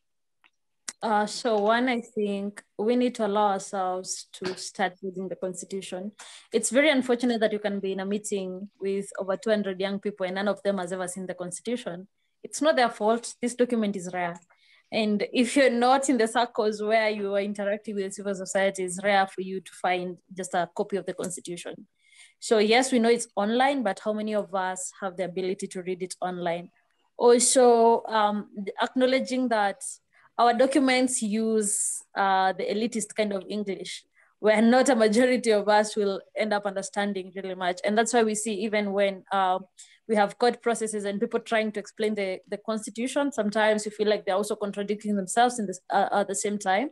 So I think it's up to me and you, Mukami, to just uh, start breaking down this information uh, to the youth in our circles. I am a believer that um, the each one teach one spirit works best where if I learn something, uh, it's my responsibility to teach the people around me. And it's also their responsibility to disseminate it to the circles beyond them. And I think we have the best platforms right now. We have uh, TikTok, we have Instagram, the Reels, and everything. And we're making very beautiful uh, videos. So maybe it's time we start also making videos educating people about these spaces. Because for us to meaning, uh, meaningfully engage and meaningfully participate, we have to have the information and we have to have the knowledge. And unfortunately, the people we trusted in terms of coming and giving us the civic education, even of our own constitution, which is the government, failed terribly on that. So maybe it's time we just take up the mantle, educate each other, and start also using the spaces that we have. Imagine having social media, which I know, like Facebook now, I think has free Facebook or something. So why don't we use uh, these spaces where they are cheaply available. Uh, we know majority of our youth can access them. Why don't we use these spaces to just educate each other and see how much we can mobilize each other towards um, achieving a meaningful participation in political processes? So I just like to give one of you, uh, each of you, uh, pardon me, each of you just one minute to just give your parting shot as regarding to the question of inclusivity. So I mean, by and large, uh, all of you are saying the BBI process judgment uh, project doesn't give uh, the youth inclusivity to, uh, to political processes, to power, to resources, to economic uh, uh, avenues to, for them to, to, for them to fulfill their hopes, dreams, and aspirations. So then as a parting shot, uh, let's give each of you one minute. I'll start with Darius. Then what do we need to do moving forward? Um, I still insist um, young people need to take stock of, of, where we are at in terms of our participation in electoral processes, in uh, political party processes, um, and in uh, basically uh, political processes, polit party politics and electoral process, but also to be able to say then where do you go from here? Have you begun the process of organizing, of where to get the resources, of who's where and doing what, such that you're able to build alliances across board. That would be very critical in terms of uh, stepping into this space and being able to now get our seat at the table and get our voice there. And thanks, Darius. Shiko? So uh, as we take stock and uh, build alliances, I always like to say that as young people, we must acknowledge that even if you file nil returns, you still pay VAT, that is 16%. And now you'll be paying 20% for the TALA loans, I'm sure the loans that you always take. Um, just for us to understand that if you're sleeping hungry today, there's someone who should be held accountable. And those are the people you elected uh, into those political seats. If you cannot afford uh, rent, if you, you're not able to even get a job, if you're not even able to access uh, education systems and health systems in Kenya, there is someone who can be held accountable. And the moment you start holding those people accountable is the moment you start taking charge of our political processes. Thank you. Thank you so much, Shiko. Uh, finally, Ngala. Yeah, I think for me, just reiterating what has already been said, um, I, I, don't never never bought the idea that the BBI um, um, actually was looking out for the youth. Um, and, and and again, for me, this kind of economic language, when it always when when when always it, it comes to thinking about and dealing with the youth, um, um, is old. I mean, the youth are interested in power, and and I and I and I'm and I'm I mean power with a capital P, Mm-hmm. Um, uh, and, and the youth need to, their voice needs to inform serious political processes in the country. And I think the question should be maybe the next discussion, how should we create that? How should we create um, a critical mass of young people who can then begin to really disrupt the political system in a very serious way? Um, for me, that, that, that would be the parting shot. Thank you so much. Thank you so much, uh, panelists, uh, Gala, Daria, Shiko. Thank you for, for those who are watching, who are streaming on YouTube and on and on Zoom. Uh, uh, thank you, our, our viewers.